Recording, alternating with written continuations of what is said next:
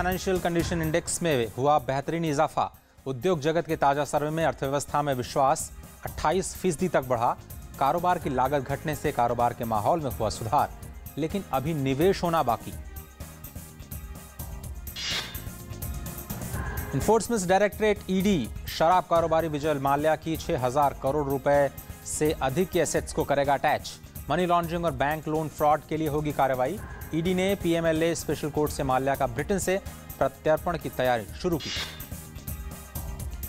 नीति आयोग ने सार्वजनिक सेक्टर की आठ यूनिट्स को बंद करने की सिफारिश की है। नीति आयोग ने कहा कि चौहत्तर पीओसीज में से आठ की हालत बेहद नाजुक।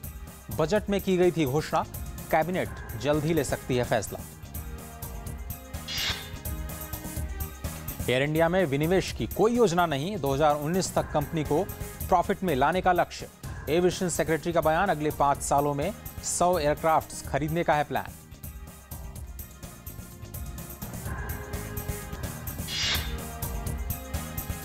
और सरकार किफायती कीमत पर दवाओं की उपलब्धता सुनिश्चित करने के लिए इस साल का चयन कर उनके विकास पर ज़ोर देगी ताकि वे ग्लोबल स्टैंडर्ड के संस्थान के रूप में उभर सकें।